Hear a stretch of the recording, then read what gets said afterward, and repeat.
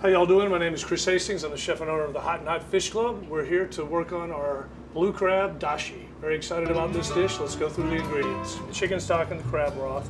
Then we have the katsuo bushi, the kombu, some of the tomalley, both fresh and cooked from the crab. All these things are gonna make a really, really rich broth.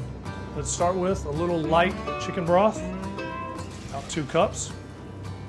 This is our crab stock that we made from the steaming of our crabs earlier. This is the cooked tomalley.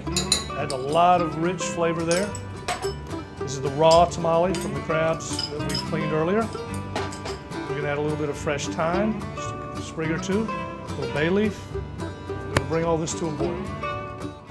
All right, so this has come to a boil. I'm skimming a little of the sediment off the top.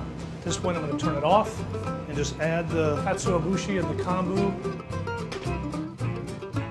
Terrific aroma. All right, let's go ahead and prepare the crab dashi. A little bit of peanut oil. Add our ginger. Bird pepper. Bok choy. Napa cabbage. Daikon. Long beans. All right, so at this point we're going to add the blue crab. How amazing is that? Earlier we had taken the kombu and the katsuo bushi and we had added it to the broth. We let that sit for five minutes to develop that flavor.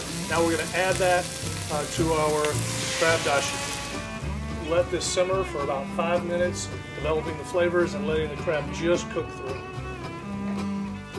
All right, here we are ready to plate the crab dashi. Really excited about this.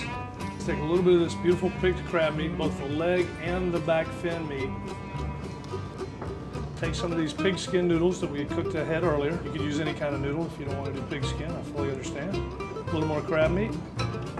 Take a little bit of fresh basil, and if you like other fresh herbs, you can substitute whatever you want. A few more hot chilies. Got all this beautiful bok choy and napa cabbage and daikon. We're going to take some pieces of the beautiful crabs. At